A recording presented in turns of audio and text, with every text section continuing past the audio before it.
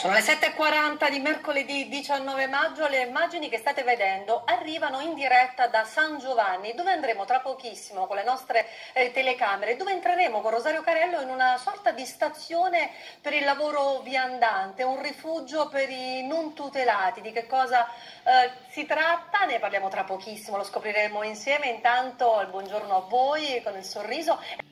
E per il momento è tutto, a te Roberta. Grazie Antonella, noi ci vediamo dopo per eventuali aggiornamenti. Intanto ritorniamo in diretta a San Giovanni. Lo abbiamo definito un rifugio per i non tutelati. Si tratta forse della prima esperienza del genere nel nostro territorio. Di che cosa si tratta, da come funziona, nei dettagli lo chiediamo a Rosario Carello. Buongiorno Rosario. Buongiorno Roberta, buongiorno a tutti. Prima di entrare nel vivo vi faccio vedere dove sono esattamente. Via San Giovanni Laterano vuol dire che lì spunta quasi come fosse un palazzo normale, nella normalità della bellezza di Roma, il Colosseo. Però dicevi molto bene, cara Roberta, sì, siamo nel primo, eh, nel primo rifugio, nella prima casa che un sindacato in Italia aperto, l'ha fatto la CISL, per quei lavoratori che non hanno un ufficio, quindi i fattorini, i rider, i driver, quelli che ci portano a casa la pizza, le cose che ordiniamo online. E Marino Masucci è il segretario della FIT CISL Lazio, segretario generale, che ha avuto l'idea esattamente qui un fattorino, un driver che non sa dove andare durante il giorno eh, eh, o ha, per, per vari motivi, cosa trova?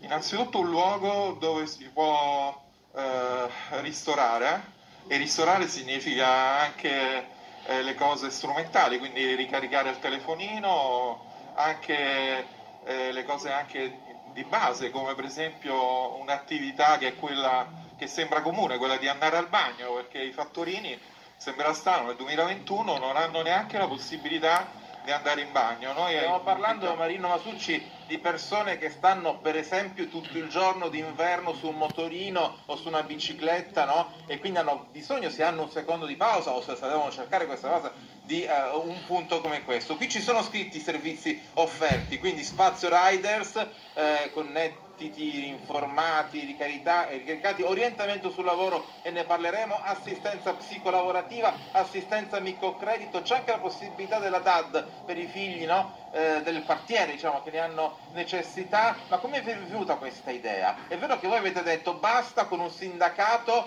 eh, che attende il lavoratore e noi andiamo incontro a loro? Sì, noi lo definiamo un sindacato di prossimità, quello che va incontro ai lavoratori, quindi non un sindacato classico che aspetta e fa tutele e dà eh, tutela sui diritti. Noi pensiamo che devono andare incontro alle esigenze anche quelle nuove, quelle di questi nuovi lavori che sono fragili, dove i diritti sono poco tutelati e quindi una sorta di rifugio, come è stato detto. E questa è la critica che viene fatta al sindacato oggi, no? di essere distante dai problemi, la CISL, la FIT CISL ha perfettamente capito aprendo questo posto. Entriamo allora in questo rifugio dove troviamo proprio un uh, un rider, no? Eh, Elio Sabatini, eh, lei cosa porta nelle nostre case? Ma, eh, soprattutto beni alimentari, diciamo. Cos'è questo posto allora per uno come lei? Eh, per me intanto diciamo che rappresenta uno spazio fisico con eh, interazione umana, che per lavori come il nostro, a mio modesto parere, è fondamentale. Non ci siete abituati? Assolutamente no. Abbiamo detto che qui c'è anche lo psicologo, la possibilità di risolvere da quel punto di vista i tanti problemi del lavoro di oggi. Allora tra poco Roberta ripartiamo proprio da qui con lo psicologo che fa assistenza, farà assistenza ai lavoratori. Da questa stazione lavoro per chi non ha un ufficio ritorniamo tra poco. Che cosa è possibile fare? Come è possibile supportare i lavoratori? Sì Roberto, eccomi qui, mi trovo davanti alla stazione lavoro, primo, la prima casa, il primo rifugio che un sindacato ha aperto, l'ha fatto la CIS Trasporti del Lazio, eh, su strada per quei lavoratori che non hanno un ufficio. Adesso Alessandro Romani entra nella stazione lavoro della CIS e vi fa vedere eh, delle poltroncine dove da lunedì scorso è iniziata la consulenza psicologica. No? Io sono con Francesco D'Ambrosio che insegna a Tor Vergata, psicologo e psicoterapeuta, ecco qui si va, vedete anche l'attenzione al dettaglio che la CISL, eh, FIT CISL Lazio ha avuto. Allora professore intanto io le chiedo, ma questa pandemia come ci ha cambiate tutti noi lavoratori di tutte le categorie? Beh, diciamo che è cambiato tantissimo, eh, sia i nostri modi di rapportarci agli altri, i nostri modi di relazionarci, ma anche dal punto di vista lavorativo. E pertanto l'intento del, di questo diciamo, spazio eh, d'ascolto eh, all'interno comunque di questa azione lavoro è dovuta proprio a questo, al fatto comunque di far sì che curare il lavoro significa prenderci cura dei lavoratori, delle lavoratrici, delle, dei loro familiari e, e non solo ovviamente anche dei più fragili. Lei prima diceva il benessere del lavoratore, che bello, ma che cos'è il benessere? Il benessere del lavoratore significa fare in modo che ci è sia... Di loro, eh, di questa categoria sì, cioè.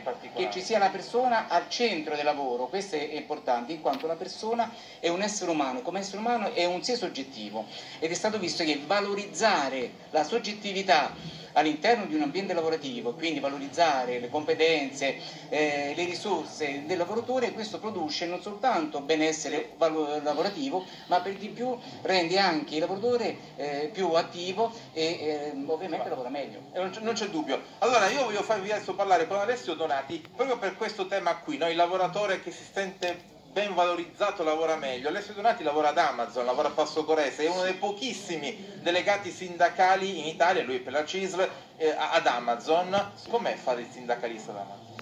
Beh, eh, non è semplice, ehm, visto che eh, ci portiamo dietro sempre questa idea del sindacato, della paura del sindacato, di avvicinarci al sindacato, quando... Molti dicono che lei è coraggioso. Eh?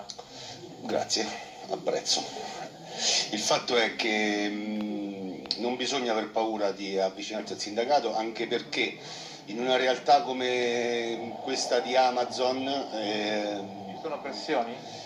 Mh, non è che ci sono pressioni, però la gente pensa, ha paura delle ripercussioni che, che ma a detta mia insomma non, non ce ne sono. Comunque loro, loro, in particolar modo ad Amazon sono veramente la frontiera del sindacato, hanno dovuto eh, addirittura ricorrere per essere riconosciuti in tribunale. Chiudiamo con Fressi, Fressi Osorio è una rider, eh, cosa ha trovato qui? È un ottimo luogo di, mm, dove chiedere aiuto, un'assistenza o pratiche di qualche documento. Anche per la lingua italiana.